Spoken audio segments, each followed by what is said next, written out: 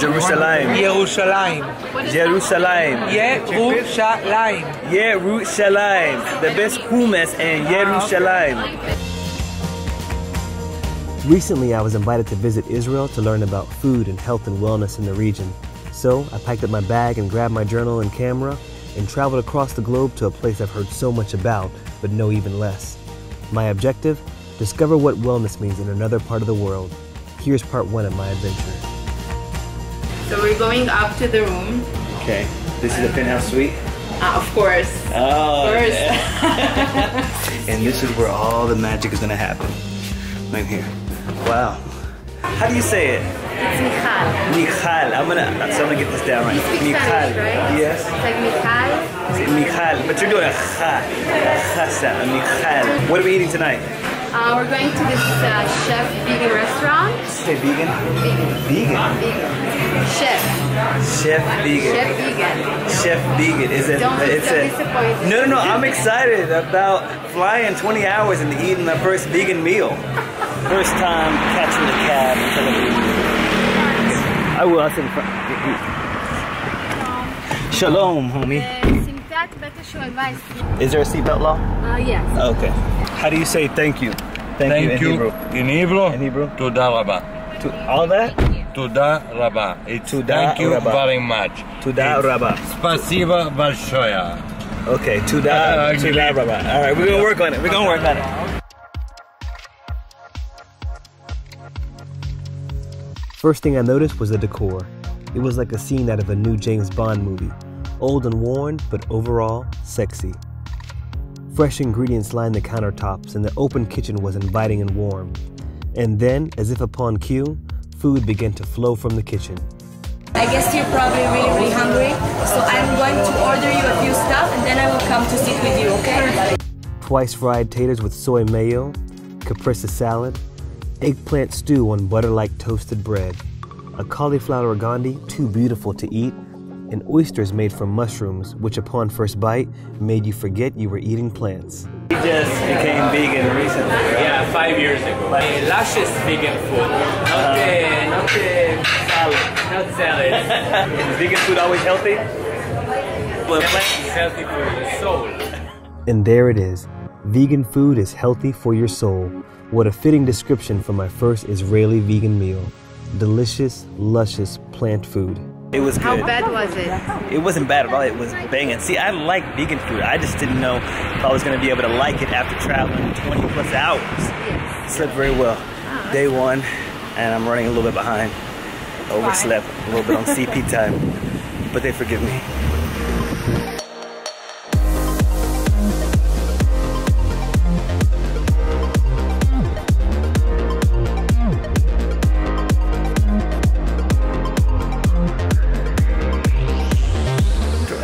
An hour and a half um, bus ride, we just um, got here to Jerusalem, and I gotta say, it's breathtaking. Take a look.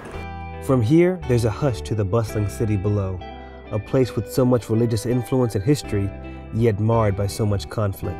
A complexity as deep as the layers it is built upon. What's interesting about Jerusalem is a huge city and three major religions. So in Christianity, Judaism, and Islam. You know, even as I'm talking about religion, you see the sun kind of peeking out and shining upon my face. And no, I'm not going to be superstitious and think there has something to do with it, but you just can't help but think that.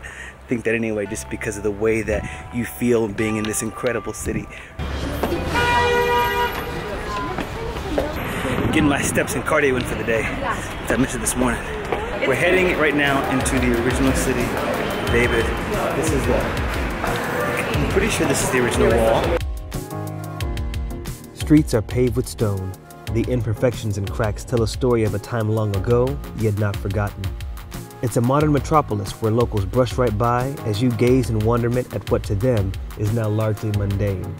As you enter the gates, you're greeted with friendly faces and warm bread, as if to say, Welcome to my home.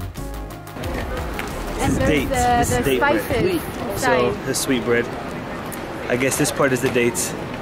I'm not sure. Here we go. Tasting.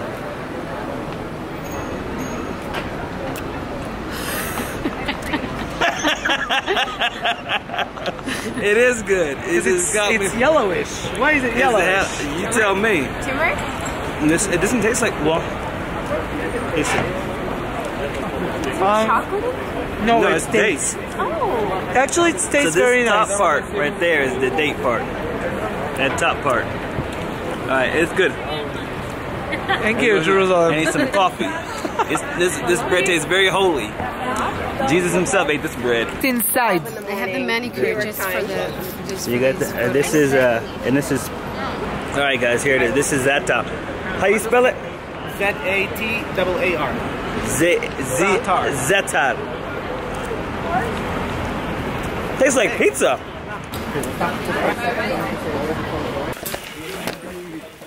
Are we gonna come back through here? Uh, what?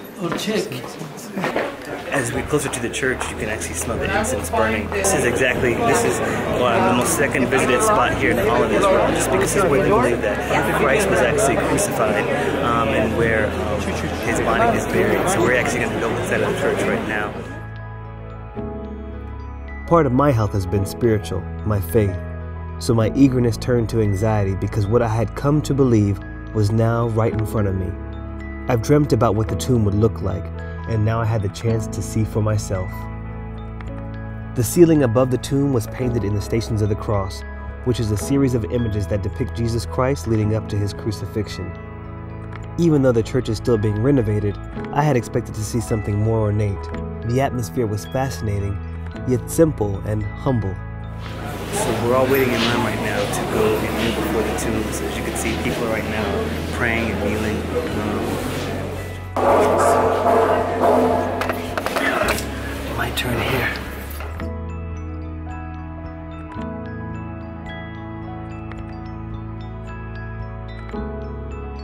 With this right here, this is the walk of anointment or whatnot. This is where they laid Jesus' body crucified. So that's why you see people kneeling and praying um, on that. Because it's believed that right up under that is the actual piece of stone that they that they use.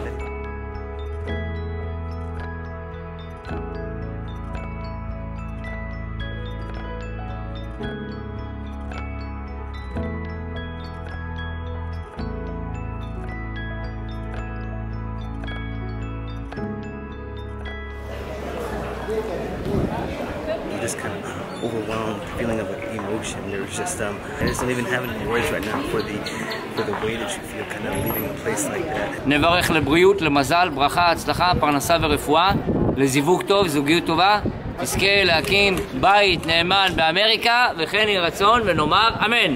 Bless you. God bless you. traditions, or it's called the Western Wall, or the Wailing Wall.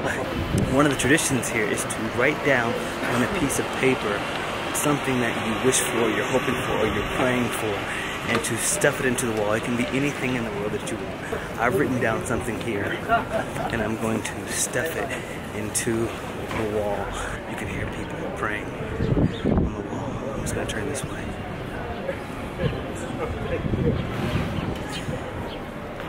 hear their prayers, you hear people praying, some people crying. And this is also interesting is that on this side of the wall, you can see this massive amount of space right now. It's all men. It's all men. Um, men and women enter the wall from two separate areas. From this side is the left side for the men, and on the right side is the women's side. The women's side is significantly smaller.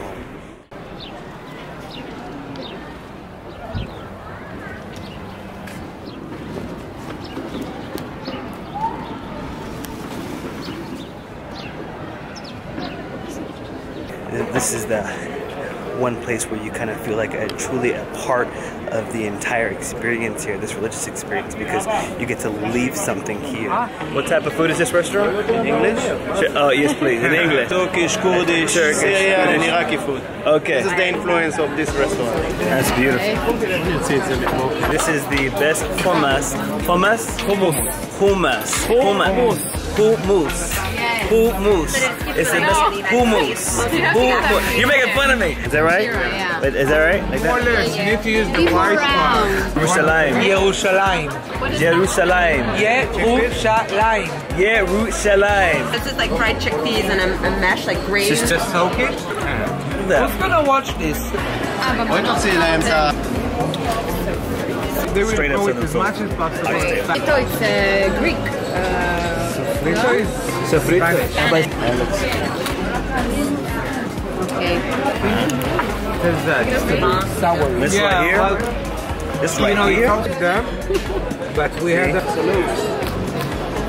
I want my eh, picture. And these look good Oh, the hat.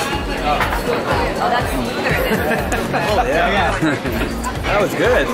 It's like candy. It's doing my. Oh, it's There we go. Uh, he said that Hold your concert together. Oh my god. Are you serious? Dancing and singing. We are in New Jerusalem right now, and we're in the middle of like the market area. And so I've heard a lot of cool things about it, so I'm excited about checking it out. Locals call the market the center of the city, and since food brings us together, I think that's appropriate. There was not one package or processed item in sight. Everything was fresh, natural, and open.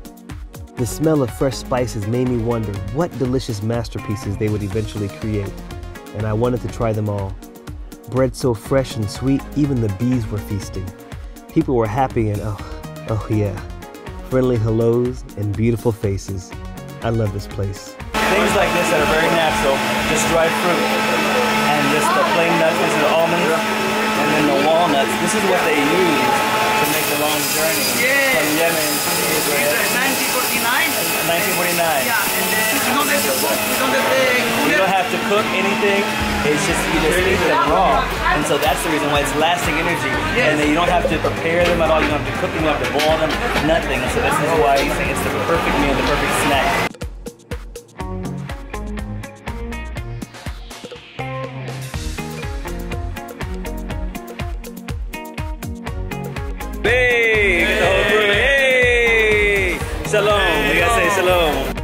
As daylight fell, storefronts closed, and nightlife began. I stopped by Beer Bazaar to sample locally brewed beers and tasty treats.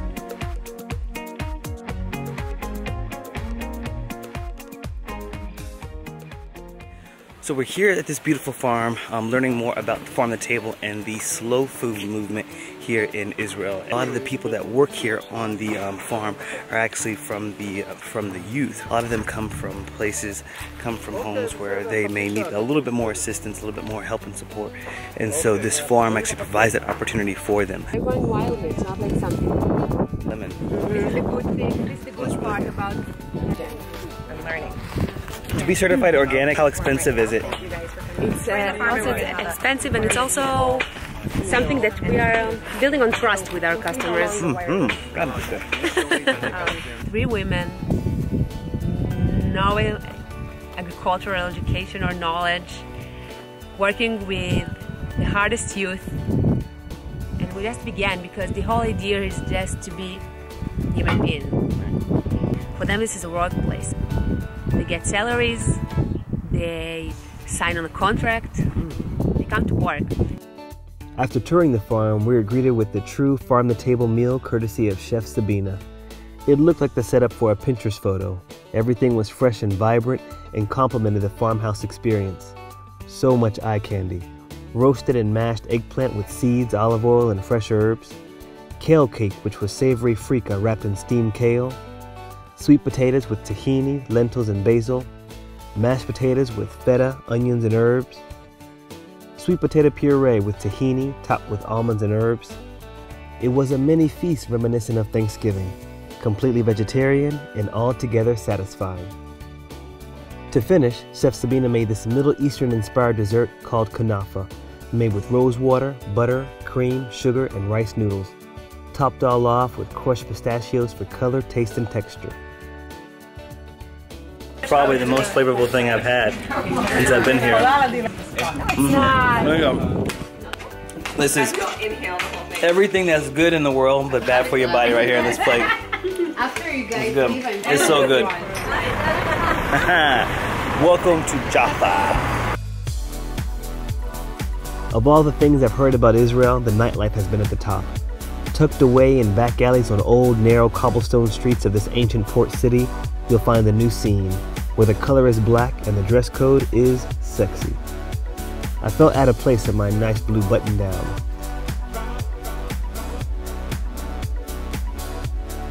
So part of it's in Hebrew, in English. My drink of choice has always been whiskey, and just this once I was adventurous by ordering a specialty drink, but made with whiskey.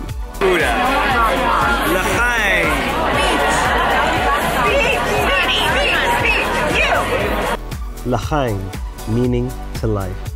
A toast to the food that nourishes us, to the experiences that connect us, and to the people that enrich us. It's been three days and I've yet to scratch the surface of this mysterious place. And I'll admit, my jet lag hasn't helped much either. I'm surviving off caffeine and my own curiosity, and I'm energized by my new recreational vegan diet. My belly is full, but I've got room for more. I look forward to what the next few days will bring. Eyes wide open,